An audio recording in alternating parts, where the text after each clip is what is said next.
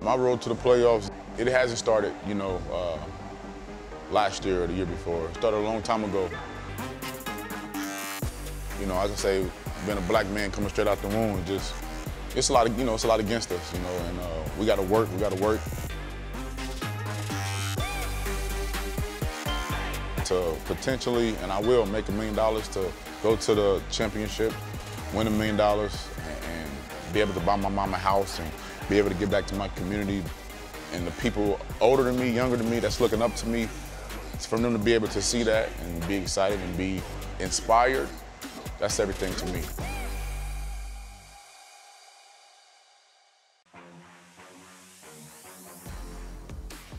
I was just trying to figure out a way to get out the streets and get away from all of that stuff. I met a guy at a grocery store and he was trying to sell me like tickets to a fight. And I was like, what kind of fight? Like boxing? He was like, nah, MMA. I didn't know what it was at the time. This is 2009, but I was still 18 years old, so this is 2009. I was like, I want to fight. He was like, you want to fight? I'm like, yeah, I want to fight like today.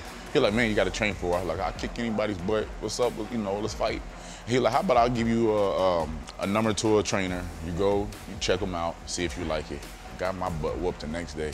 18 years old, humble me from that day forward, man, just been a humble guy ever since. I was just excited to just be out, you know, out of the, out of the street life, away from all of my homies doing bad stuff. It was hard for you to walk from here to there without some kind of confrontation. Yeah, I mean, I was always fighting. Kelvin got in a lot of trouble when he was young. A lot of the trouble that he got in, I didn't even realize that he got into them until he was an adult and he told me about them. Dude grabbed a chair and threw it right at Cal. And he spinned around and tried to hit me with it. Okay, all right. And then I went under and I picked him up and I slammed him.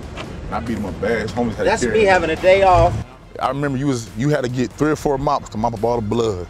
You, I said, I had my first fight. 23 days later, I won uh, TKO in the second round, and I was like, I like this.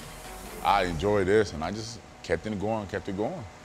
The situations he had to grow up underneath, it, it's, it's amazing. I thought that was a lifestyle for us. I thought that's the only thing I was good for. When he won his first fight, when he got his check, first thing he did is he went, got 100 book bags, all the supplies for 100 kids, and just went door to door.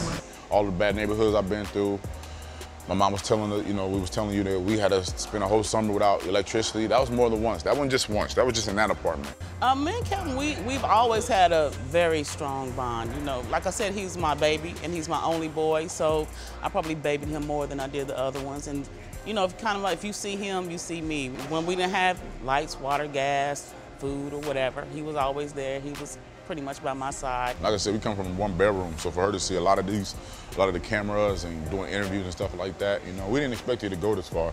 You know, so for her to be here and, and, and, to experience all this with me is a beautiful thing. For her to be at all the fights and hear her yell, I literally, literally hear her over everybody.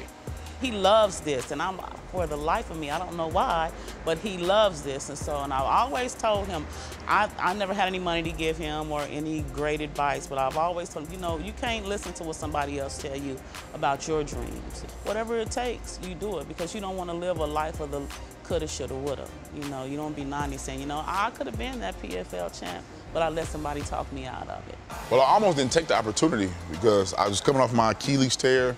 I, was, I think I was out for a year and a half. I was supposed to go try for the heavyweights of the UFC, or the Ultimate Fighter show. And my manager was like, hey, you can go to the Ultimate Fighter show, win it, hopefully win it, stay for six weeks, or you get an opportunity to fight for a million dollars. So I chose PFL.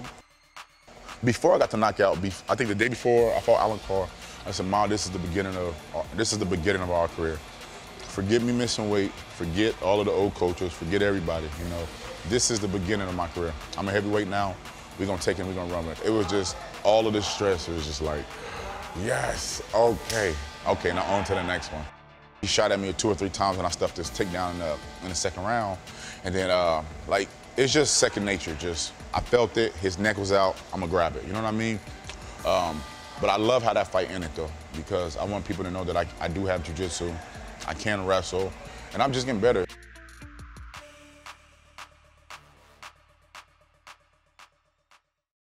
Granddad, you know, so he raised me. I was a good, he was a good man. That's my mom's dad. And he died, I got the phone call that he died like five minutes before I had to go actually weigh in, weigh in. It was a quiet ride home. It was a real quiet ride home, but I don't mind losing. And I think that's why I perform so well. I think a lot of these guys, they're so, they're so, they're so scared to lose. And uh, I know if I lose, if I hurt myself, I know my mom, my sisters, my kids are gonna take care of me. My last performance, a lot of that was, you know, for him. Cause I knew would want me to keep going. You know, we used to watch all of the sports on ESPN. I know I had to get that win for him, man. Knowing that I was fighting on ESPN and he wasn't here, it was a boost. It was a downer, but it was also a boost. Like, I have to win this for him. I have to win this for me too. Got to win it for my kids, you know. You know, I don't like calling guys out, but that's the fight. Uh, Dennis is the fight that I wanted. I think this is the perfect opponent for me. This is the one that gets me up. As long as I go to the playoffs, I'm okay. I just, I, I want to win impressively though. I, I want to show the world that, that, that I am good everywhere. I really want to know, to tell them that I, I know how to take a punch. I can give a punch. I can wrestle. I really want to show the people what I can do, man.